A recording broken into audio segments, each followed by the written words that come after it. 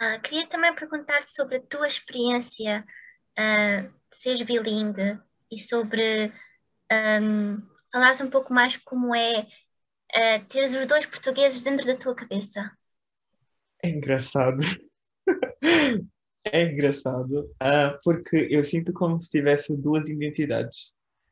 Um, existe um, um Luís, um Luís assim mais português e existe um Luís mais brasileiro. Eu acho que eu tenho muito essas conversas cá dentro de casa, porque a minha família, no momento, eu só lido com a minha família do Brasil, né? E um, eu vejo que há muitas coisas que eles não percebem. Uh, mesmo quando a pessoa está-se a comunicar, eles acham que entendem o que está, o que está a ser dito, né? mas no fundo não perceberam patarinas do que estão a dizer. Uh, daí é que eu percebo que eu realmente uh, criei assim uma ponte entre os dois e, e às vezes uh, eles próprios gabam, gabam-se de mim a outras pessoas porque veem que é engraçado. Um dia temos que experimentar fazer isto, colocar um brasileiro e tu a falares do outro lado e experimentar para tu veres como é que corre a situação. Porque eu tendo a misturar, tipo, tu vês que eu estou a tentar ser duas pessoas ao mesmo tempo. duas pessoas ao mesmo tempo. Porque eu criei meio que uma identidade para um e uma identidade para o outro. Mas não sei, eu não sei explicar muito bem o que é que se passa cá dentro. Um, e tu sentes que isso também acontece, por exemplo, para o francês, para o inglês, para o chinês, para o coreano? Uhum. Eu sinto que também sou. Eu sinto-me um Fernando de Pessoa. Fernando Pessoa. Sinto que tipo várias. sou várias pessoas. Várias pessoas. Acho que no fundo tu consegues perceber a minha. Ou seja, com isto eu não quero dizer que eu tenho personalidades diferentes. Eu só quero dizer que a minha maneira de me expressar ou a minha maneira de contornar uma situação. São da mesma pessoa. Exatamente. São diferentes facetas. É isso, é your isso. self, your French self, your Mandarin self, your Portuguese self, your Brazilian self. And everything, all of them come together Exatamente. para formar o Luís. O Luís. Exatamente. Tem muita influência de como eu aprendi, de quem me ensinou e de Exatamente, mais como eu aprendi. Porque, por exemplo, um, o, o meu português, eu aprendi o português de Portugal, né? Eu aprendi no dia a dia, então é algo que para mim é mais natural. Eu não, não estudei o português de Portugal em livros, né? Ah, a gramática, vamos lá corrigir a minha gramática. Não, obviamente que não. Uh, enquanto que, por exemplo, o inglês foi-me ensinado na escola, então foi algo assim mais moldável, não é? Então acho que já é algo que, um, por exemplo, se eu falo com uma pessoa que mora em Inglaterra, eu falo de uma maneira diferente como quando eu falo com um americano. Não sei porquê, eu simplesmente falo. Uh, e com o francês já também é, é, muito desenrasque, né? Porque eu aprendi também o francês assim no desenrasque.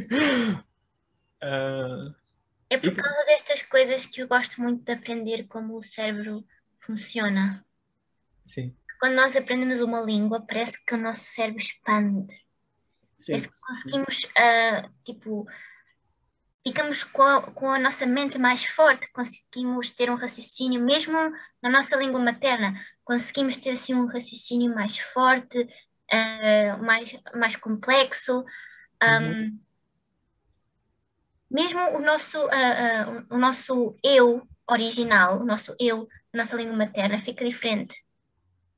É como se fosse mesmo desenvolvimento pessoal, um exercício de desenvolvimento pessoal.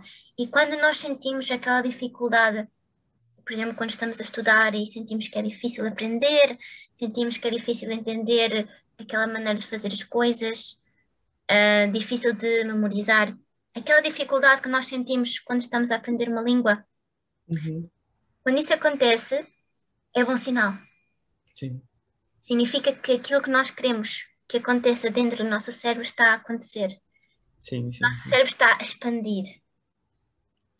Tipo Exatamente. aquele, tipo aquele eh, filme do Limitless. Não. Ah, sim, sei, sei, sei, sei qual é. Ele tomava uma, uma cápsula, um comprimido, não sei, e depois a mente dele ficava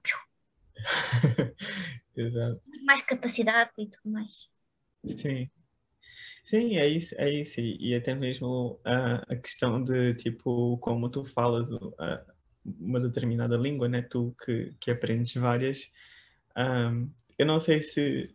Eu não sei porque eu não presto muita atenção em como eu falo, mas eu sinto que, por exemplo, quando eu falo português do Brasil, eu falo de uma maneira mais lenta, ah, mais pausada, enquanto que quando eu falo, por exemplo, mandarim, eu falo super rápido, porque habituei-me a esse registro, né?